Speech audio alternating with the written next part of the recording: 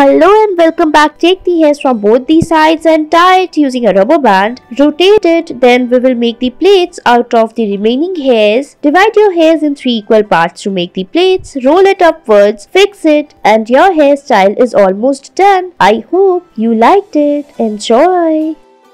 Next, take the hairs from both the sides, tie it and then rotate it. Follow the same step for few more times and it's done.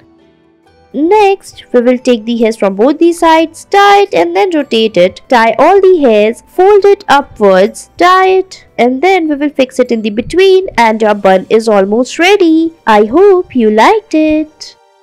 Next, we will tie half of the hairs and tie it using the rubber band. After that, we will divide the hairs into two parts and fix it upwards. Watch these steps very carefully. And here, your hairstyles are almost done. I hope you liked it. For this hairstyle, your hairs need to be neck length to long. Thanks for watching.